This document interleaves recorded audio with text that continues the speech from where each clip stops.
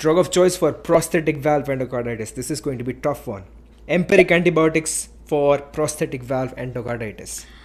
Um, it's cefepime, vancomycin, rifampin, and gentamicin. Very good. Two days later, cultures grow MSSA in setting of prosthetic valve.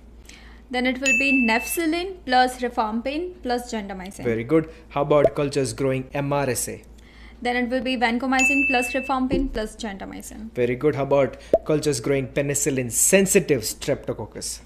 Oh, so because it's sensitive, it will be ceftriaxone or penicillin G. Very good. How about penicillin resistant streptococcus with MIC minimum inhibitory concentration of more than or equal to 0.12 but less than 0.5?